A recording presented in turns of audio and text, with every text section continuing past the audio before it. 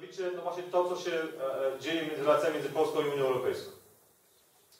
E, dwie sprawy są istotne, które, które dzieją się właśnie teraz i, i, i, i, na naszych oczach. Po pierwsze, jak Państwo wiecie, wczoraj był dyskutowany budżet Unii Europejskiej na kolejne lata 14-20. Zakończyło się to, zakończyło się to na razie bez konkluzji, bez decyzji. Ale ważne jest to, że, że ten, ta batalia o budżet jest pokazana trochę w Polsce jak gra w totolotka. Jak to, że my się zastanawiamy nad tym, czy wygramy 300 miliardów, 200 czy 400.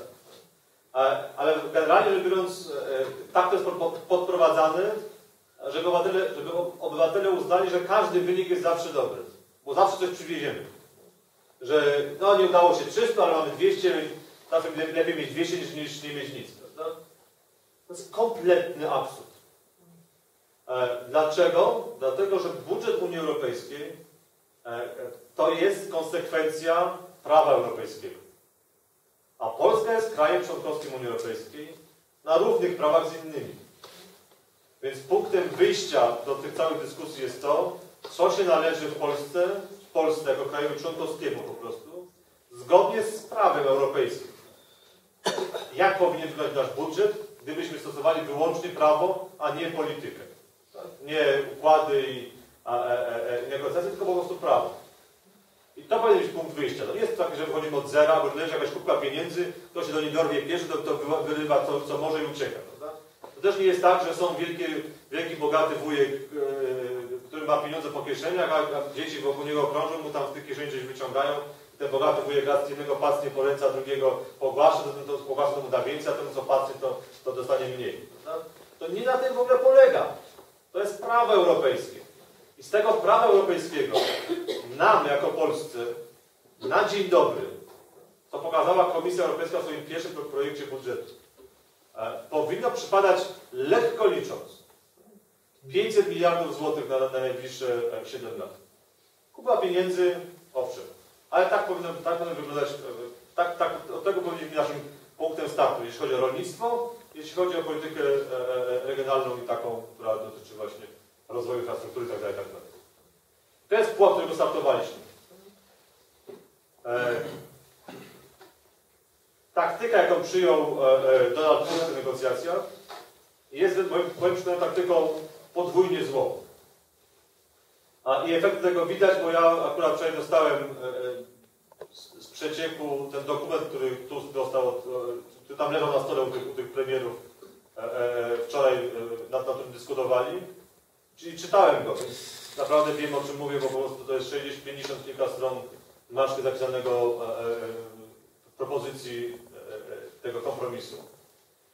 I z tego widzę, jako człowiek, który zajmuje tym nie od dzisiaj, że mamy dwie, zupełnie dwa, dwa błędne założenia taktyczne w tych negocjacjach od samego początku.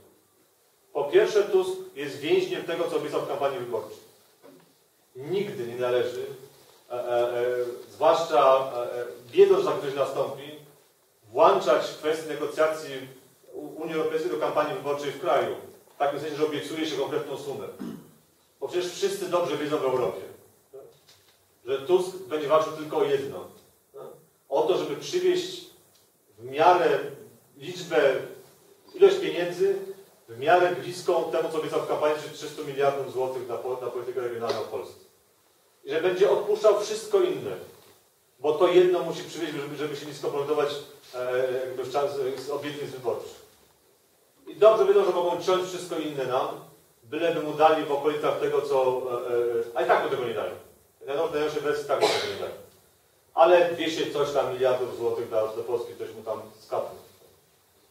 Absolutnie, to jest gigantyczny błąd. E, e, mało tego, dla- dlaczego to jest błąd? Dlatego, że w Polsce e, z pieniędzy europejskich mamy dwie duże pule praw do brania, że tak powiem, z tego budżetu europejskiego.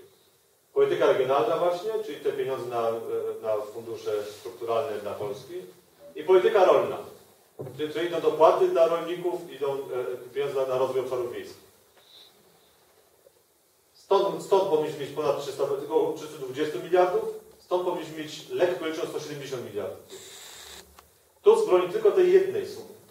tych swoich 300 obiecanych e, e, w kampanii. W ogóle nie broni ro- rolników. W ogóle nie broni kwestii po- polityki rolnej. Dlaczego? Dlatego, że to nie jest jego elektorat. E, dlatego, że tego nikomu nie obiecał. I, I wprost powiedziała to minister Wieńkowska, minister tego rządu, że nie będą walczyć o, o te pieniądze, będą walczyć wyłącznie o pieniądze na politykę regionalną, bo to jest jej też e, domena. I nam się ciągle teraz przelewa z tych pieniędzy, które nam się należały z polityki rolnej, do tych, które nam się do, które mamy do polityki e, e, regionalnej, tutaj około 300 miliardów. No, de facto przelewamy z tego do, do, do tego, żeby on dostał to, co obiecał w kampanii, więc tracimy politykę rolną po to, żeby, po to, żeby realizować politykę, politykę regionalną. E, e, i w, tej, w tych konkluzjach napisane jest bardzo wyraźnie u Van Rompuy'a, że nie ma żadnych szans na, na to, żeby polscy rolnicy mieli takie same dopłaty jak rolnicy niemieccy, francuscy, e, e, Grecy, którzy mają 4, razy- 3 razy więcej niż nasi. No, W ogóle nie ma. Nie ma o tym mowy. Tusk zgodził się, inaczej mówiąc, na dyskryminację polskich rolników, która miała się skończyć w 2013 roku.